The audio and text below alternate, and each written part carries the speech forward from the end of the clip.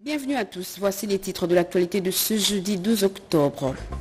Un prestigieux docteur honoris causa, l'université de Kinshasa en tient un de plus au bout de trois d'une cérémonie académique qui a observé tout son rituel, le chef de l'État Félix Antoine Tshisekedi Chilombo a revêtu sa tunique de docteur honoris causa alors qu'on lui décernait le diplôme.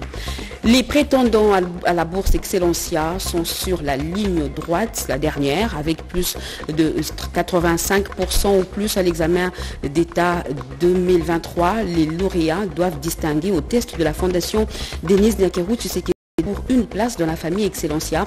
La colline inspirée les a accueillis pour ce faire. Unis pour la paix et la sécurité, le projet est lancé par le vice-ministre de la Défense et ancien combattant. Des années de conflits et crises ont laissé les plaies qu'il faut penser à tout prix. Voilà pour les titres.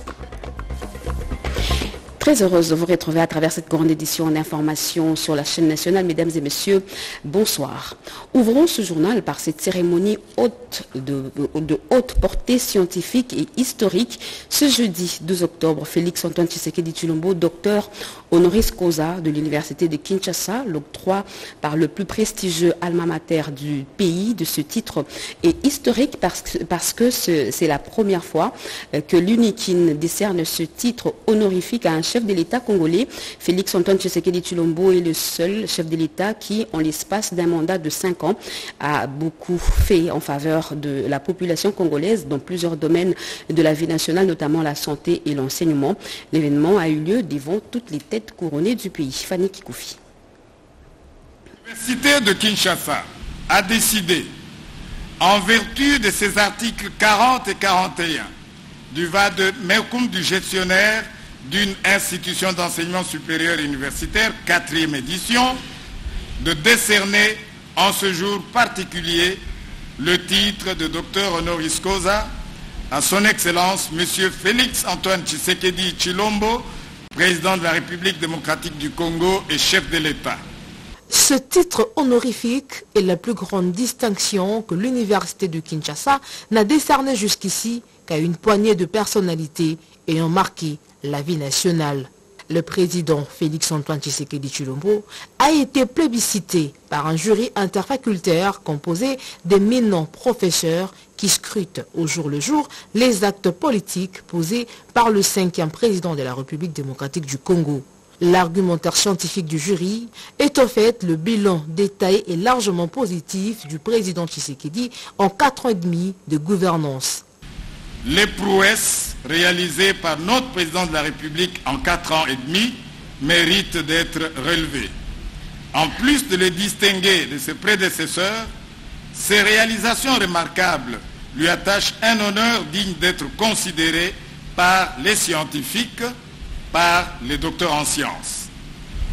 Les distinctions se sont révélées de points de vue un économico-financier, amélioration du climat des affaires, accroissement du budget de 5 à 16 milliards de dollars US, le produit national brut du Congolais est relevé de l'avis du Fonds monétaire international et de la Banque mondiale. Un contrôle financier de gestion ainsi que des sanctions sont instaurées notamment par la lutte contre la corruption et l'impunité. Et malgré les difficultés financières, les soubresauts de l'opposition, l'insécurité à l'Est, nous imposés par le Rwanda, l'enrôlement des électeurs a eu lieu et le processus électoral est enclenché. Très ému de recevoir ce titre honorifique de la part de l'université mère de son pays, connu pour sa rigueur, le chef de l'État a réitéré sa détermination de poursuivre sa vision avec le même élan.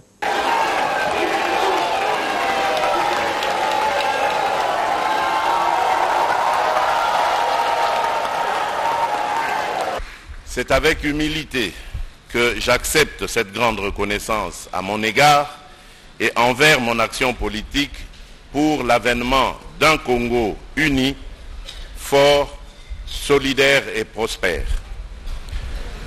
En effet, ne dit-on pas que science sans conscience n'est que ruine de l'âme? L'université se doit donc d'être le lieu par excellence où l'on doit concevoir et cultiver les idées qui conduiront notre pays vers son mieux-être.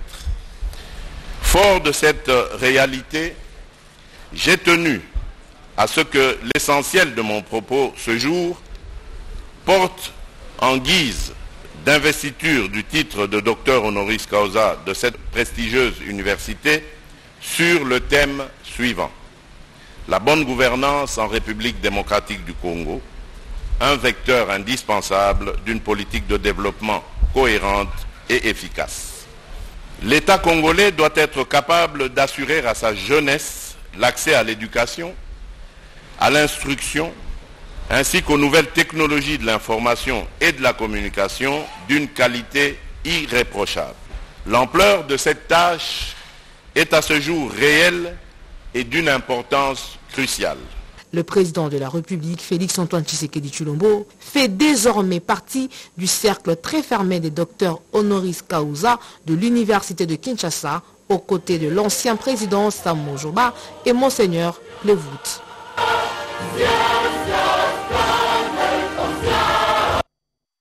Et plusieurs personnalités politiques, scientifiques et économiques présentes à cette cérémonie riche en couleurs ont réagi au micro de Robert Ndaye. C'est le cas notamment du président du Sénat, Modeste Bahati, celui de l'Assemblée nationale, Christophe Mbosso, du professeur André Mbataï, du deuxième vice-président du Sénat, l'honorable Sangou Mate Mosai. Regardez. Motif de fierté parce qu'on récompense, on honore un chef d'État qui a travaillé pour toutes les couches de la population. Il est en train de mettre en place une nouvelle gouvernance. Donc il est en train d'innover ce qui n'a jamais, été fait dans ces pays. Donc, des personnalités comme ça, il faut l'honorer. Dans notre monde de la science, il n'y a pas de complaisance. Si aujourd'hui le titre et le grade de docteur honoris causa est accordé à son Excellence Félix Antoine Tshisekedi Chilombo, il l'aura amplement, amplement mérité. Peut-être que les gens oublient très vite d'où nous venons. Hein. Lorsqu'il a pris le pouvoir en 2019, aussitôt après, on lui a mis beaucoup de bâtons dans les roues pour qu'il ne puisse pas accomplir son programme qu'il a promis au peuple congolais. Il a fait usage de son intelligence de sa sagesse, de sa dextérité, qui aujourd'hui mérite la, reconnaissance scientifique qui est celle d'aujourd'hui. Félix Antoine Tshisekedi Chombo, notre président de la République, chef de l'État, a en fait rempli les conditions pour devenir docteur honoris causa de la plus grande université de la République. Avant lui, d'autres personnalités ont tenté, d'autres personnalités politiques, mais elles n'avaient pas rempli les conditions. C'est un titre honorifique. Au même titre, il y a d'autres titres honorifiques comme le prix Nobel, comme le prix tel et tel. Ce sont des titres honorifiques.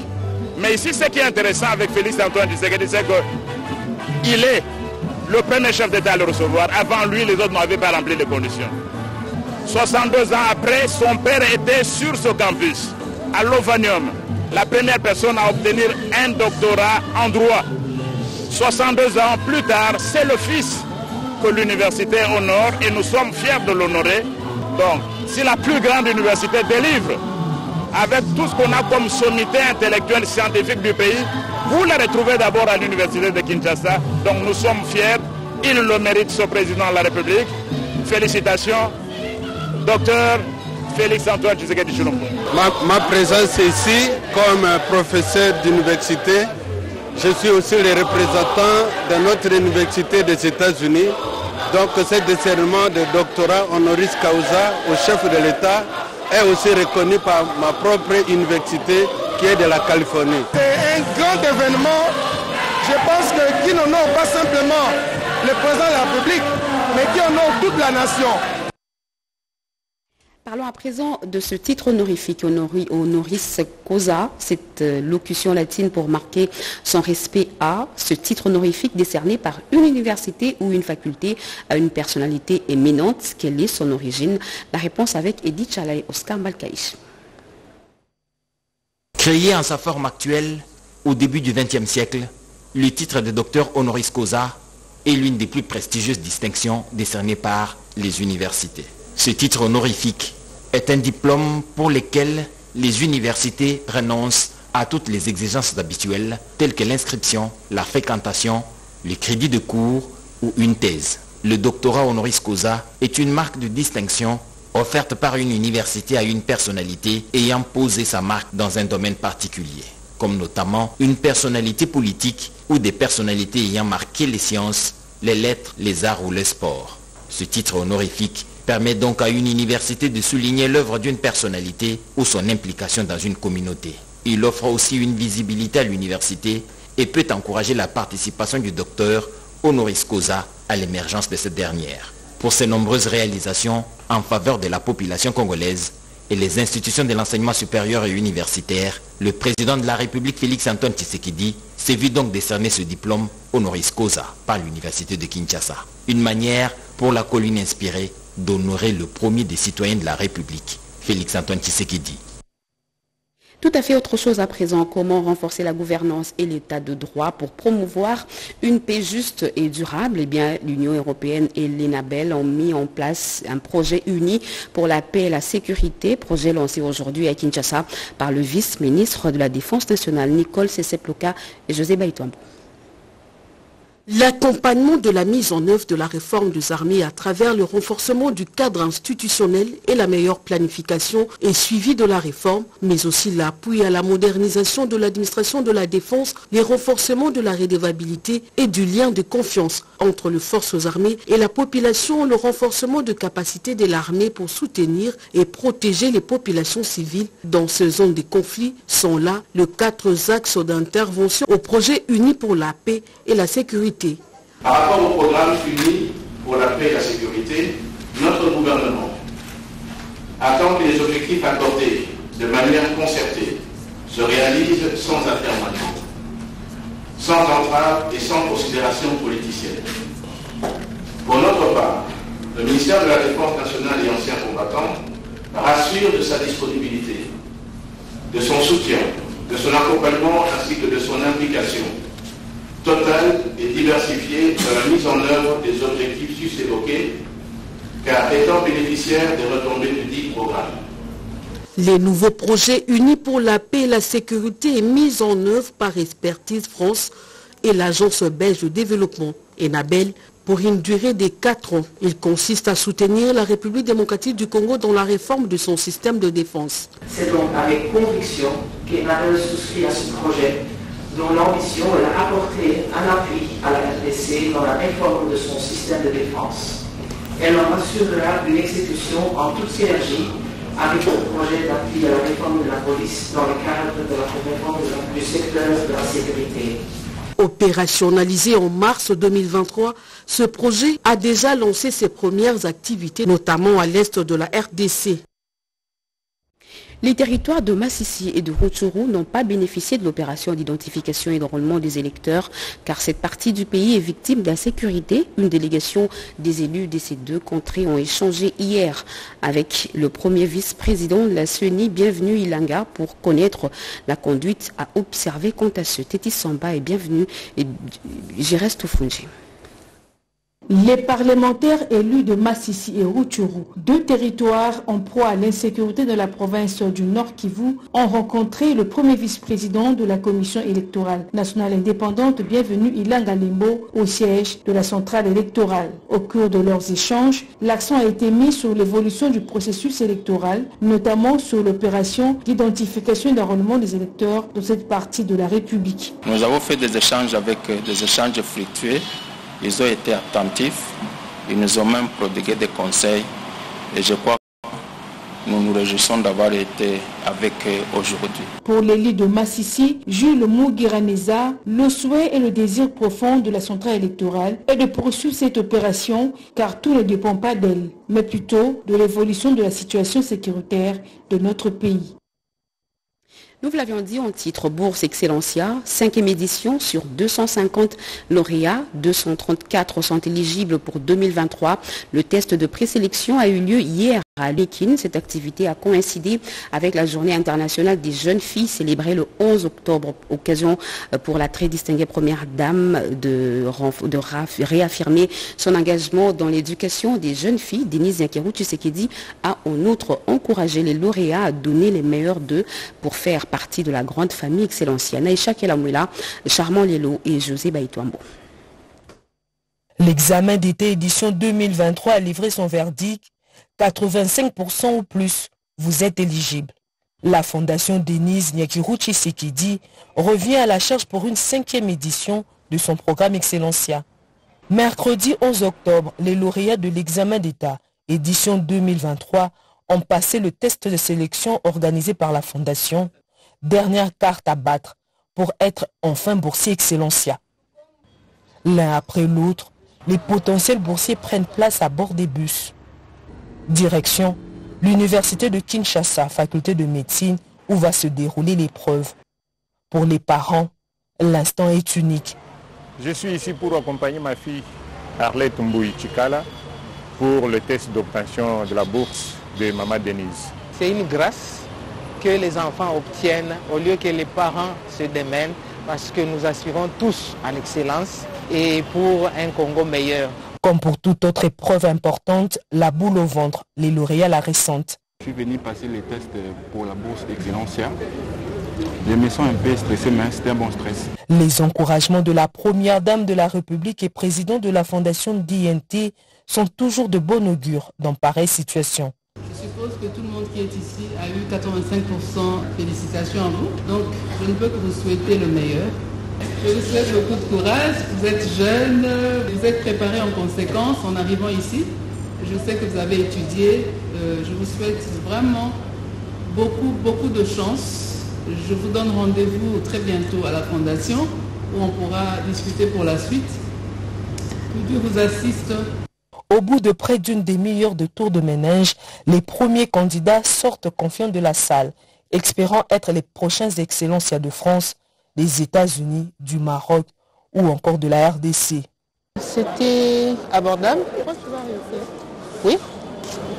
Tu attends vraiment cette bourse Oui, j'attends juste la bourse. Euh, je voudrais remercier la Première Dame de nous avoir donné la chance euh, de pouvoir participer à cette bourse et de nous donner aussi l'opportunité d'aller étudier soit à l'étranger ou même simplement euh, au pays pour ceux qui n'ont pas les moyens de le faire et qui ont la capacité de faire beaucoup de points.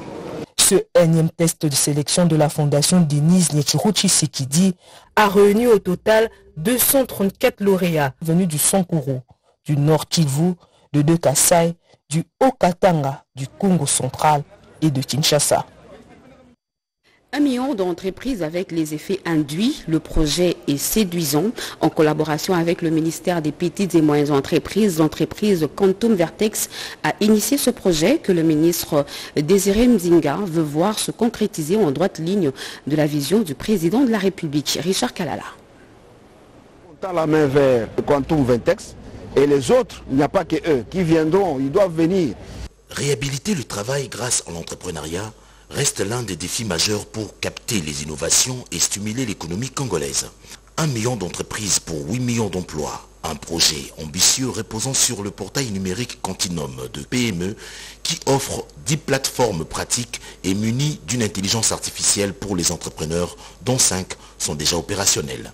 Un outil important pour matérialiser la vision du chef de l'État Félix-Antoine Tshisekedi Chilombo, a souligné le ministre de l'entrepreneuriat petite et moyenne entreprise, Désiré Nzinga Birionze, au moment du lancement du dit projet qui doit son essence à l'entreprise Quantum Vertex.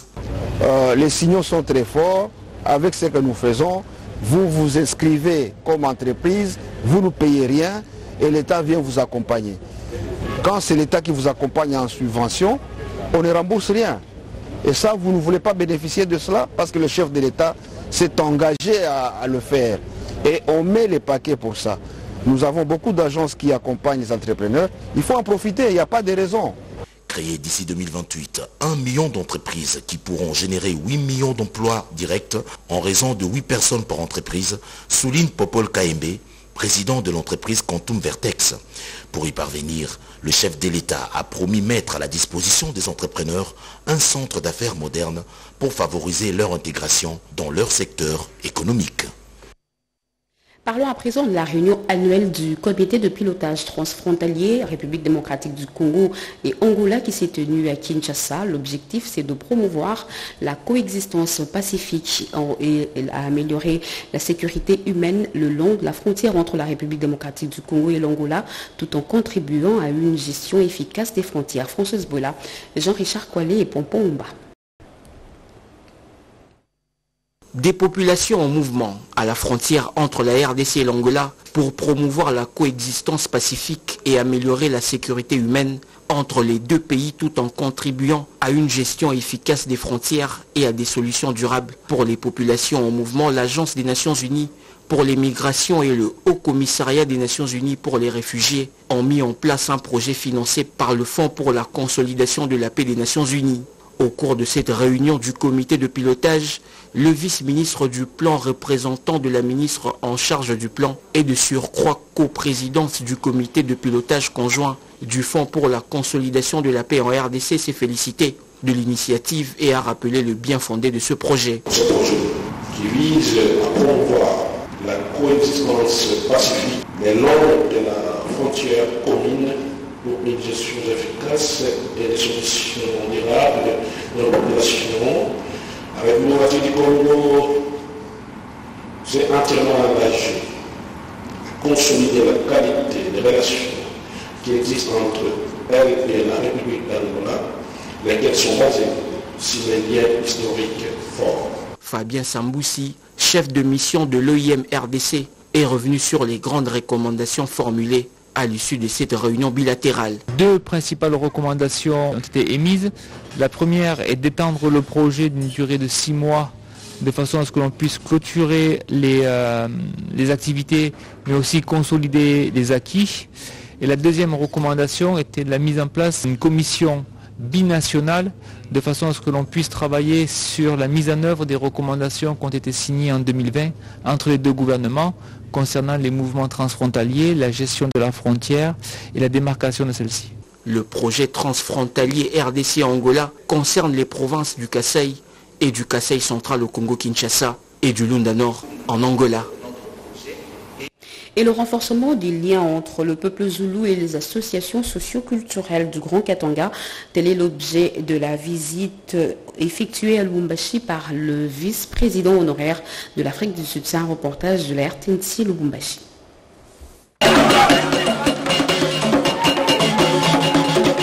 Chaque fois que l'on parle des relations entre les pays ou les peuples, l'ensemble n'est pas faire trop attention à l'aspect culturel les deux peuples des deux nations sœurs et amis depuis des siècles, à savoir les Baluba du Katanga, Baluba 4 de la RDC et les peuples Zoulou d'Afrique du Sud viennent de les démontrer à Lubumbashi dans le Katanga. Cela par le simple fait que l'ancien vice-président sud-africain entre 2018 et 2023, David Dabé de Maboza, accompagné du consul général de la RSA accrédité dans la capitale du cuivre, a été reçu récemment par la communauté Boulouba Ibukata que dirige l'honorable Dieudonné Bangamukose, président national, et sur son invitation personnelle. Selon ce dernier, cette rencontre fraternelle entre dans le cadre du raffermissement des liens entre les peuples Luba du Katanga et Zoulou du pays arc-en-ciel qui partagent la même culture. De son côté, le numéro 2 honoraire de la République sud-africaine s'est déclaré émerveillé par la chaleur de l'accueil à lui réservé. David Dabede Mabose qui est également au cadre du parti au pouvoir ANC en Afrique du Sud, a indiqué que le Zoulou et les Moulubakat deviennent un et indivisibles. Par conséquent, ils doivent travailler non seulement pour la promotion de leur culture, mais aussi pour le développement communautaire des deux peuples respectifs, d'où des visites de genre nécessitent d'être organisées de manière réciproque et régulière. Et les bus Trans Academia euh, bientôt disponibles pour toutes les provinces. Certains vont les recevoir d'ici peu, mais seulement il faut d'abord remplir quelques préalables déclarations du ministre des Transports Marc Equila au gouverneur de l'Équateur et au vice-gouverneur du Kwango, José Baïtombo.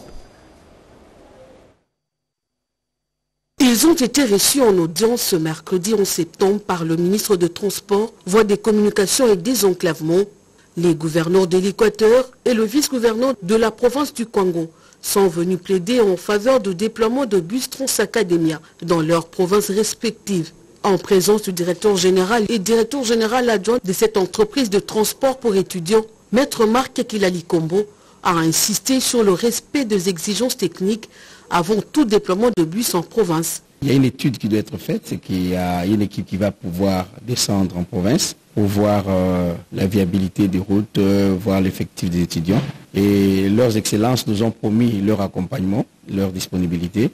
Et dans un bref délai, il y a déjà des équipes qui vont être déployées à Kwango, à Kwilu et à l'Équateur.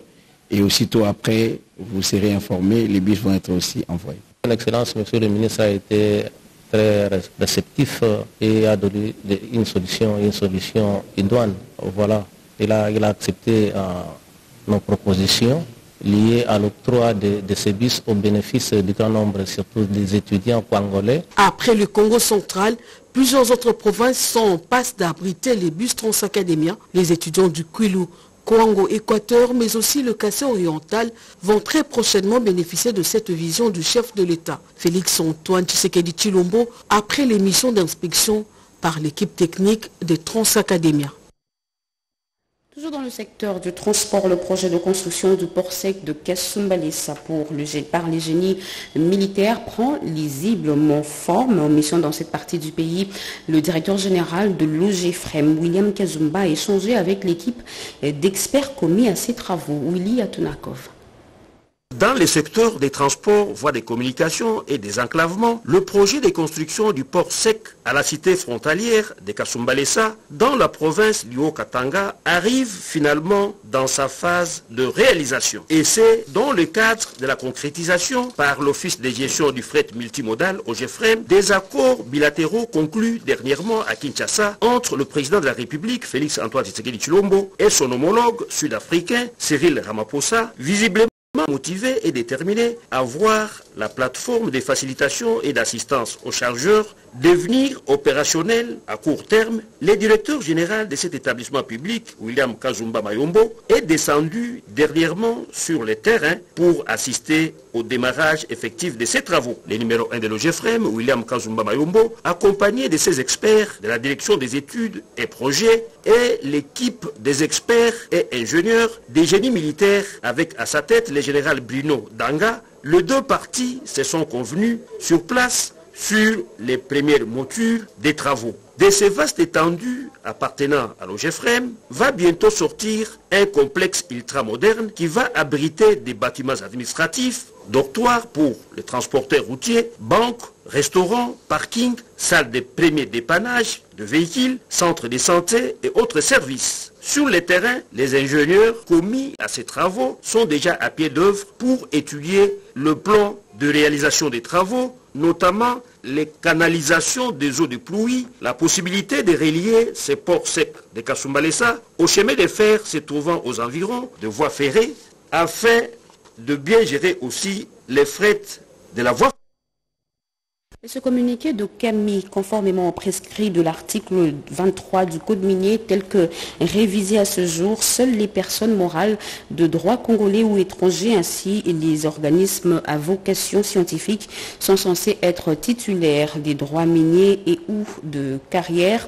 Ainsi, il est porté à la connaissance de toutes les personnes physiques ayant autrefois détenu ou détenant encore des droits miniers et ou de carrière en dépit un rappel en dépit du rappel consécutif à la, vision, à la révision du code et du règlement minier de 2018 lancé par le CAMI, que ce dernier va procéder dans les dix jours du présent communiqué à la radiation sur la carte de retombée minière et dans son registre de tous les droits miniers et ou de carrière ayant été euh, autrefois détenus ou actuellement détenus par des personnes physiques.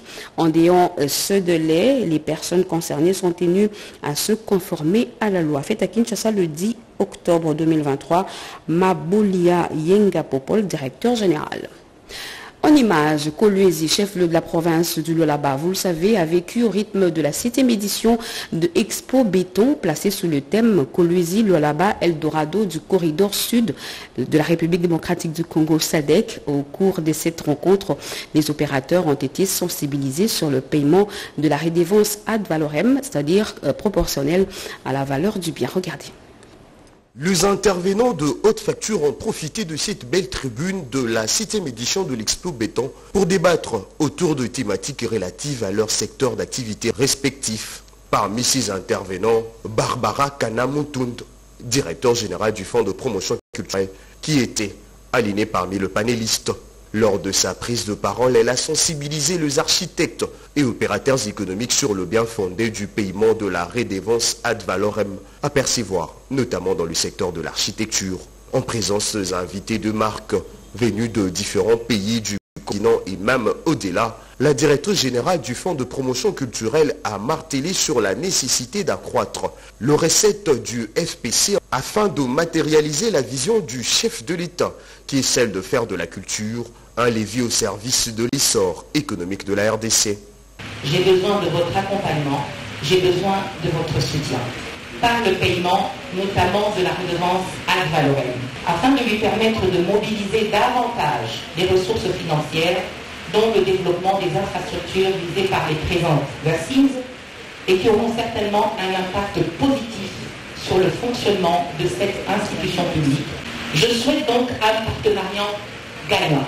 Clôturé par le président Félix Tshisekedi, cette année, la réflexion de la 7e édition de l'Expo Béton a été consacrée sur le développement urbain ainsi que des infrastructures liées au transport multimodal, à l'habitat, à l'approvisionnement en énergie, à l'industrie, à la consolidation de relations économiques et à l'intégration régionale. La nouvelle génération consciente se fixe des grandes ambitions. La grande matinée politique organisée à la place IMCA a fait l'objet d'une évaluation avec les cellules spécialisées de la Tchangou et la Funa. Yvette Makuntima. Carton plein des IMCA, l'heure est à l'évaluation avec les structures spécialisées des districts de la Tchangou et celle de la Funa. Victor Bossokou a salué la mobilisation accrue lors de la matinée politique organisée le 1er octobre 2023 par la nouvelle génération consciente Nogeco qui est en soi un record. Le remerciement à toute l'équipe de la mobilisation de la Tchangou qui ont quitté Tchangou jusqu'à rejoindre l'activité à l'esplanade de l'IMCA. Les prétendants porte-voix de la Tchangou aux législatives et de Kimbanteke au niveau provincial a également répertorié les nouvelles associations qui feront l'objet d'une présentation grandeur nature au stade municipal de Massina. Nous sommes en train de se préparer pour la réélection de notre candidat à la magistrature suprême, Félix Antoine Tshisekedi. Ensuite, d'annoncer déjà un grand événement pour très bientôt au stade municipal de Massina. En dehors de cet exercice des passages en revue des activités menées dans le cadre de la fondation qui porte son nom, Victor Bossokou a posé des actes philanthropiques illustrant ainsi son sens élevé d'humanisme. RTNC Lualaba vient de recevoir un coup de pouce. Un lot de matériel lui a été remis par le directeur des ressources humaines au nom de Madame le directeur général Sylvie Elengue Nimbo. Regardez. Lualaba vient de bénéficier du pragmatisme de la directrice générale de la RTNC, Madame Sylvie Elengue. Ainsi, un équipement pimpant neuf a été doté à la station de cette province et remis la veille de la remise et reprise entre le directeur provincial sortant Emmanuel Ndao et celui entrant Dieudonné Karl Nawej. Cette cérémonie s'est déroulée sous la coordination du directeur des ressources humaines, Kanikiwa Kaniki, qui de prime abord a lu tous les documents relatifs à la remise et reprise. Il s'en suivra le temps fort de la dite cérémonie sous les applaudissements des agents et cadres. Le directeur provincial sortant Emmanuel Ndaou a remercié toute l'équipe. Je remercie également l'autorité provinciale pour son appui pendant notre mandat.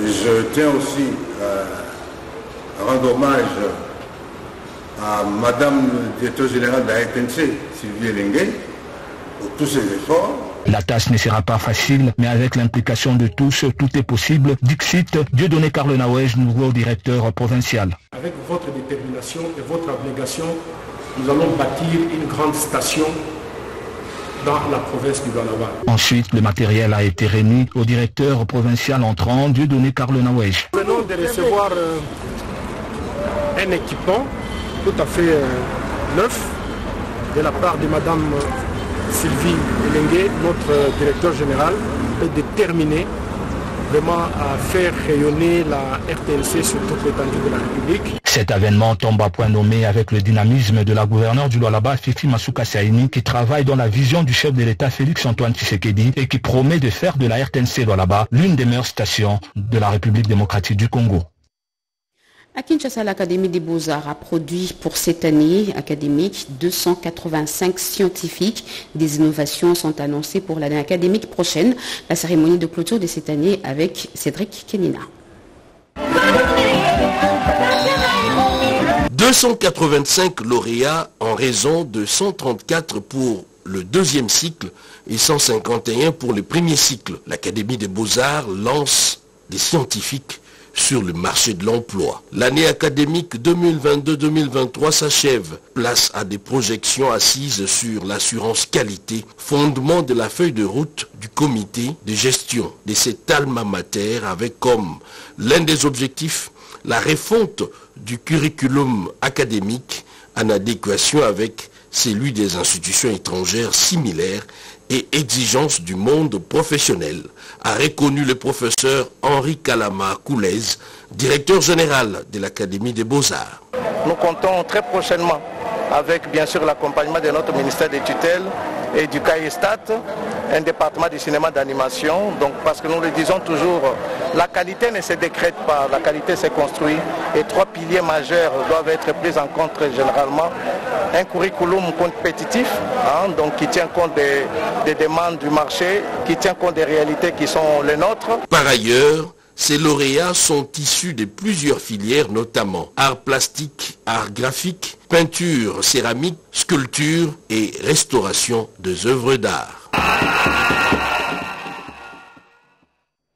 Et aucune entreprise n'échappera à la loi sur la.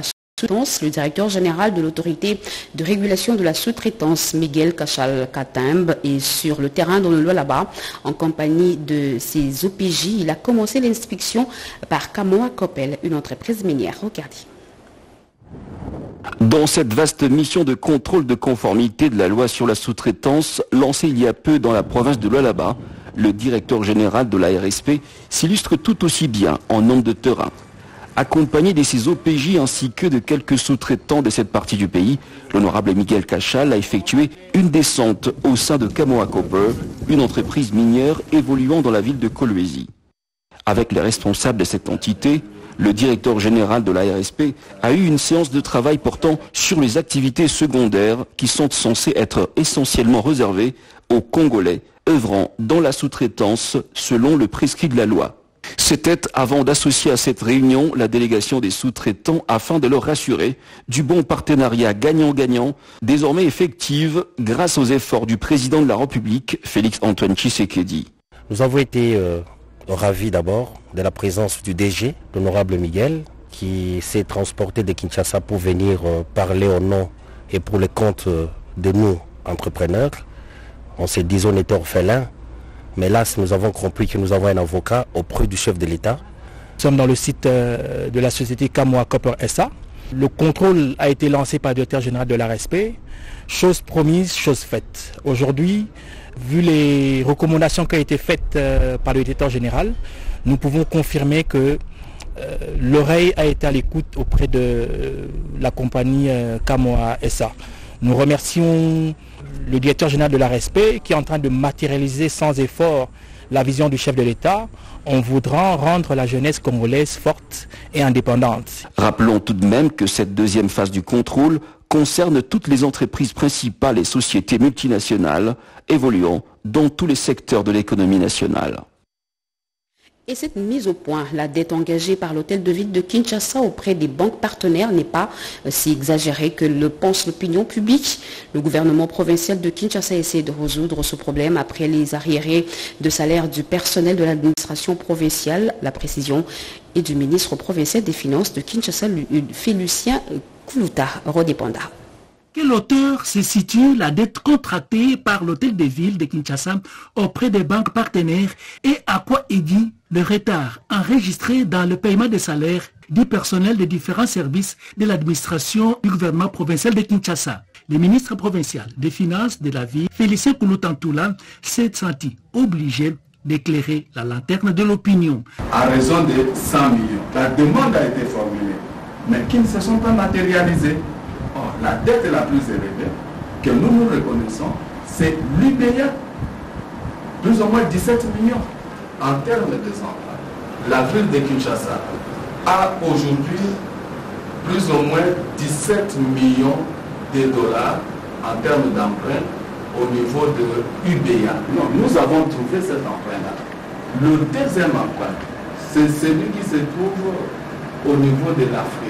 C'est un emprunt de 3 500 000 dollars que le gouvernement Ngobila a trouvé. Et cet emprunt est en train d'être liquidé. Et à ce jour, il reste plus ou moins 1 million. Troisième emprunt, c'est l'emprunt de la TMB. L'emprunt de la TMB était également à 2 500 000 dollars. Un emprunt qui date aussi de 2018. Nous sommes en train de le liquider de manière qu'à ce jour, il ne nous reste plus que 280 000 dollars à payer à la TMB. Vous pouvez aller vérifier. C'est la TMB qui a obtenu de la Banque centrale le gel des comptes de la ville de Kinshasa pour sa créance de 580 000 dollars. La semaine passée, nous avions payé 300 000 dollars. Il nous reste 280 000. Mais là encore, je souligne, ce n'est pas un emprunt sollicité par le gouvernement Ngobila, mais c'est un emprunt qu'on a trouvé et qui date de 2018 au sujet des salaires des agents et fonctionnaires de l'État du ministère provincial des Finances de Kinshasa, Félicien Koulutankula a reconnu que certains agents sont en retard de paiement et que les efforts sont en cours afin de régulariser cette situation. Un invité dans ce journal, il s'agit de M. Denis Tukuzu. Il est directeur du département de distribution de la ville de Kinshasa, DDK AI. Bonsoir M. Denis. Bonsoir madame. Depuis cinq jours maintenant, nous constatons une perturbation dans la desserte en électricité. Qu'est-ce qui se passe à la SNEL Donc il se passe euh, euh, donc les perturbations que nous enregistrons à travers euh, les différents quartiers de la ville de Kinshasa provient de Inga. Parce que nous avons connu donc la centrale d'Inga a connu un problème. Et ce problème est lié et pratiquement à l'introduction d'un tronc d'arbre dans une des machines. Et sur une autre machine, il y a un problème, vraiment une panne électromécanique qui nécessite une adaptation euh, pour réduire cet échauffement exagéré. Justement, est-ce que vos équipes sont sur le terrain et sont-elles sont à, pied d'œuvre pour juste euh, résoudre ce problème? Oui, les équipes sont à pied d'œuvre parce qu'il y a pratiquement deux équipes. Il y a une équipe euh, euh, qui est spécialisé aux travaux subaquatiques, donc ce sont des plongeurs, parce que lorsqu'on dit qu'un tronc d'arbre est entré dans une machine, carrément, ça montre que la grille même qui retient toutes les saletés est perforée. Donc ce sont des travaux sous, sous fleuve, donc il y a des experts qui sont descendus. Et pour faire ces travaux-là, nécessairement sur cette machine, on est obligé d'arrêter la machine qui est d'à côté. Nous comprenons que ce sont des travaux de grande envergure. Euh, probabilité combien de temps, la durée? En tout cas, nous n'allons pas dépasser cinq jours. La situation va être rétablie. Va être rétablie parce que l'équipe travaille jour et nuit. Oui, avez-vous un message à passer, euh, un message de la SNEL à passer? Est-ce qu'il y a un comportement de la population qu'on doit euh, changer? Qu'est-ce qu'on doit faire au fait au niveau de la population Donc pratiquement, je suis venu informer à notre chère clientèle et puis à la population en général parce que tout le monde bénéficie des effets de l'électricité que la SNEL euh, euh, dessert d'une manière directe ou indirecte. De se comporter, d'abord il y a le civisme, mhm. parce que ce que nous vivons aujourd'hui à Inga, c'est les comportements humains en amont. Tout ce que nous jetons dans le fleuve a des conséquences parce que ça arrive à Inga et vous voyez carrément que pour qu'une grille puisse céder, c'est qu'il y a des agents chimico-physiques extérieurs qui ont agressé le métal pour atteindre ces niveaux élevés de la corrosion. Et en plus de cela, nous demandons à notre clientèle de garder un peu patience. Monsieur Denis Toukouzou, merci d'avoir accepté notre invitation. Nous rappelons là que vous êtes directeur au département de distribution de la ville de Kinshasa, la Société nationale de l'électricité SNEL. Merci beaucoup. C'est moi qui vous remercie, madame. Et ce communiqué officiel avant de boucler complètement ce journal, M. Ndombakabea Eli Léon, premier président de la Cour de cassation, M.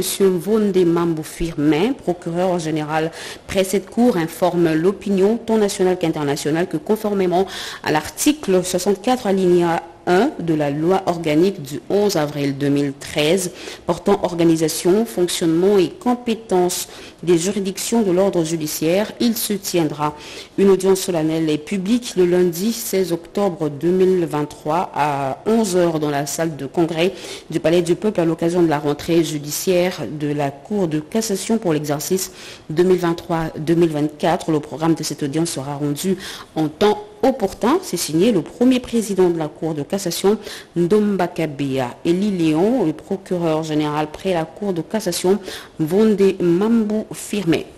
Fin de ce journal, mesdames et messieurs. Merci de l'avoir suivi. Merci à vous qui nous suivez à Dimbelingi, dans le Kassai central et partout ailleurs sur satellite. Vous êtes sur la RTNC. L'actualité continue sur nos antennes. Retrouvez à 23h Jemima Mogo. Moi, je vous reviens demain à 20h avec le même plaisir.